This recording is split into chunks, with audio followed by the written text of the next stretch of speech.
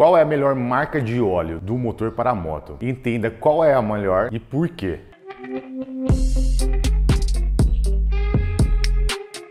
Esse vídeo aqui já era para ter saído já há um tempo, mas esses dias estava conversando com um cliente e ele trabalha em um laboratório de lubrificantes. Aí tivemos uma conversa e aí tive mais a certeza de qual era o melhor lubrificante de óleo para a moto. Aí eu decidi gravar esse vídeo para vocês. Mas antes de falar qual é a melhor marca, eu quero dizer que todas as marcas que tenho aqui são de ótima qualidade. E também existem outras marcas no mercado que também são de excelente qualidade. O que você tem que analisar se elas são homologado pelo JASO MA2, que é óleo motor de quatro tempos e ele tem todos os requisitos necessários. Coloca aqui nos comentários qual marca de óleo você utiliza na sua moto. Bom, vamos lá. Qual a melhor marca de óleo que supera hoje o mercado? O óleo que mais se destaca hoje é o Motu. Ele é um óleo francês, ele é embalado na França e vem para o Brasil.